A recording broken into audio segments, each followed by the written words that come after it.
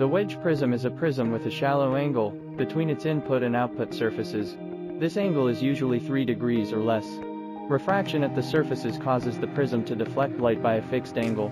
When viewing a scene through such a prism, objects will appear to be offset by an amount that varies with their distance from the prism. The term, optical wedge, refers to any shallow angle between two plane surfaces of a window. This wedge may range from a few millionths of a degree of perfect parallelism to as much as 3 degrees of angle. Even though high-precision optics, such as optical flats, may be lapped and polished to extremely high levels of parallelism, Nearly all optics with parallel faces have some slight wedge. This margin of error is usually listed in minutes or seconds of arc. Windows manufactured with an intentional wedge are often referred to as wedge prisms, and typically come with wedge angles of 1, 2, or 3 degrees. Many applications exist for wedge prisms, including laser beam steering, range finding and variable focusing.